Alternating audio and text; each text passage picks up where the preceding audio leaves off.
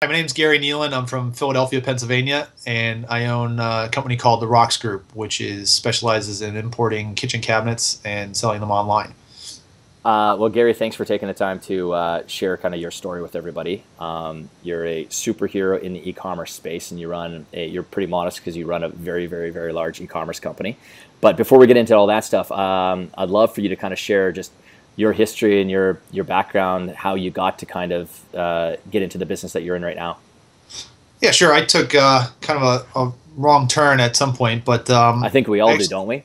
yes, exactly. Uh, I graduated college uh, with a marketing and information uh, degree, and uh, moved away to Virginia. Um, and actually started in the logistics industry as a director of sales for a logistics company for about 10 years um, decided I was going to, uh, or smarter than everybody else, and that I was going to buy my own company. Um, so I did uh, the whole due diligence process, found some investors, uh, and bought a company in the dollar industry, which immediately tanked uh, right after I bought it. Um, the price of fuel and oil and everything went up, and obviously everything in the dollar store is made out of plastic. So yeah. Um, learned quickly that uh, buying a business was not the right way to go. So I actually started uh, a website.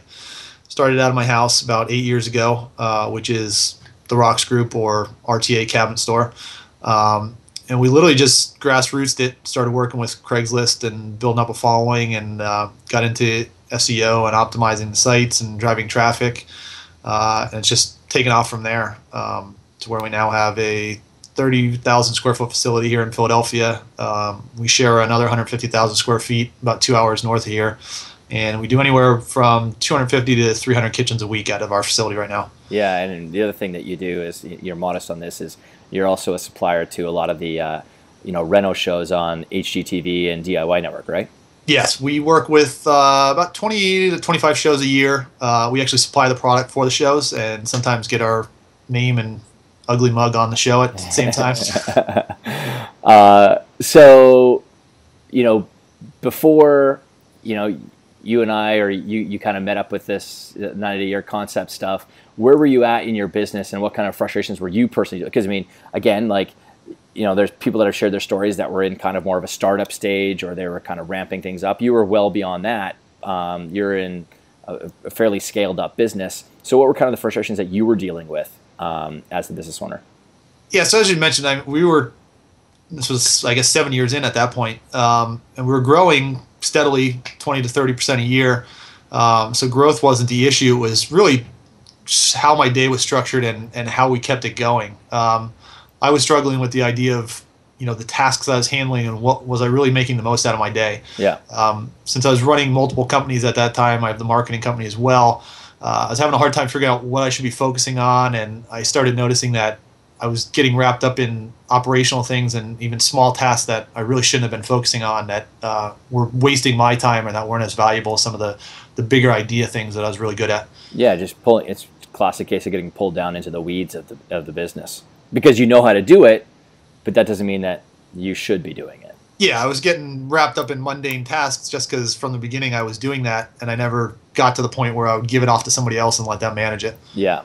Um, and so uh, we kind of dive into this stuff together and you know what's been what have been some of the shifts that have happened for you since you know applying this and you know any any sort of results as well on the business side of things yeah i mean the biggest thing for me was uh, i was able to really step back and take a look at the tasks i was doing uh, as you kind of mapped out for me, break them down into you know like the ten dollar, hundred dollar, and thousand dollar tasks, and start outsourcing with that stuff. So uh, within a couple months of you and I working together, we ended up bringing on um, four virtual assistants down the Philippines.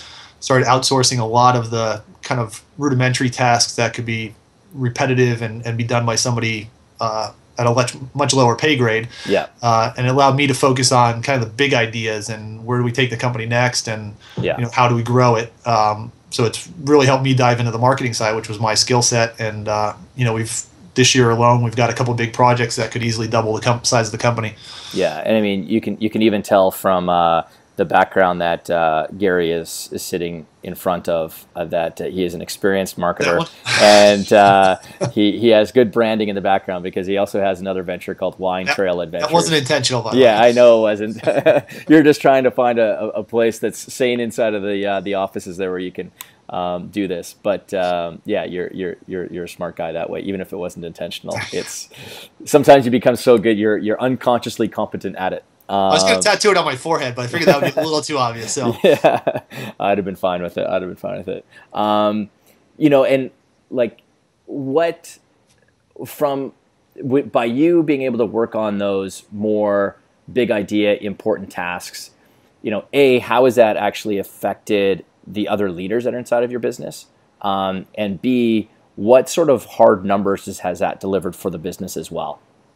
I think in terms of what it did for the employees, um, I was tended to micromanage, and I was they came to me for answers instead of actually trying to think of the answer themselves. Yeah, So I think by me outsourcing a lot of that stuff and giving them delegating more authority, um, it's allowed them to become better at solving things without having to get me involved. Yeah. Uh, so it's freed up myself, but it's also given them a little bit more of a uh, importance in the company. Well, it gives them that sense of autonomy, and then and then, and then that byproduct of that is typically it helps with the culture. Then, Yeah.